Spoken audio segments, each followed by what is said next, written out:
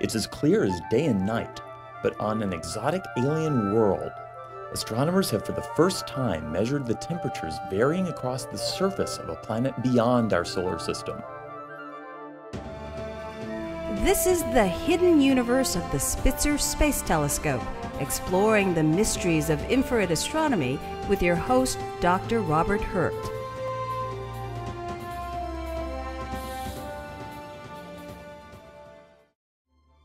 Planets orbiting other sun-like stars are notoriously difficult to observe. They're so distant that no telescope is yet powerful enough to photograph them directly. Their feeble light is blurred into the glare of the stars they orbit. Nonetheless, since 1995, astronomers have discovered over 200 extrasolar planets by observing the effects they have on their parent stars. These include gravitationally induced wobbles and even faint dimmings of the starlight when the planets pass in front. The infrared eye of the Spitzer Space Telescope has already proven to be an exciting tool for learning more about these alien worlds.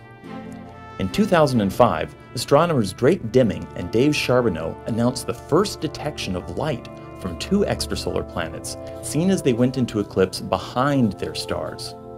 Now, astronomers Joe Harrington of the University of Central Florida and Brad Hansen of UCLA have taken this one step further. They have actually measured differences between the day and night sides of such a world.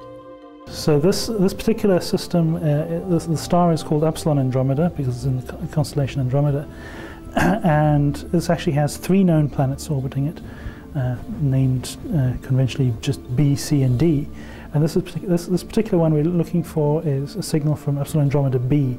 So that's the closest planet. So this is a planet that's actually, that's actually orbiting the, uh, its parent star in about a four and a half day orbital period. So it's, it's much, much, much closer to its parent star than, say, any of the planets in our solar system are. This planet isn't just an extra hot Mercury. It's a gas giant as massive as Jupiter, and while there's nothing like it in our own solar system, astronomers have found it's far from unique.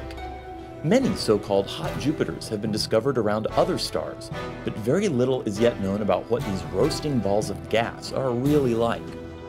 And so the, the, natural question that came about was how does this increased amount of energy that they're receiving from the sun affect the structure of the planet and its atmosphere? So some models suggest that in fact the, planet is, the, the, the light is absorbed and re-radiated very quickly so that the heat is coming out mostly on the day side rather than the night side, whereas other models suggest that maybe uh, if there are very strong winds, such as give rise to the bands on Jupiter, then in fact the light can be distributed, the energy can be distributed quite evenly around the planet before it gets re-emitted. To test these models, Harrington and Hansen needed to observe this system in the infrared, where the planet emits most of its light. Though the star is over 100 times brighter, Spitzer could still pick out the small variations in the combined brightness as the planet moved through its orbit.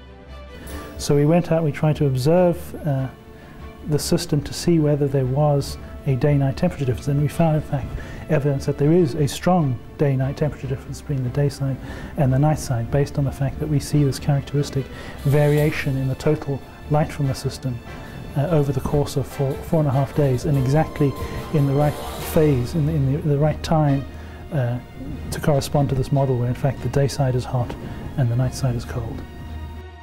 The temperature difference is immense, over 2,500 degrees Fahrenheit or 1,400 degrees Celsius between the comfortably cool night side and the broiling hot spot facing the star. This is vastly different from the infrared structure of Jupiter, which is even temperatured all around. This remarkable result marks the first time any kind of variation has been seen across the surface of a planet outside our solar system. For now, only imaginative artists can provide pictures of what they could look like, but until the day we can take real snapshots, astronomers will continue to find clever ways to explore this growing catalog of alien worlds. The Hidden Universe is produced by the Spitzer Science Center at the California Institute of Technology in Pasadena. The Spitzer Space Telescope mission is managed by NASA's Jet Propulsion Laboratory.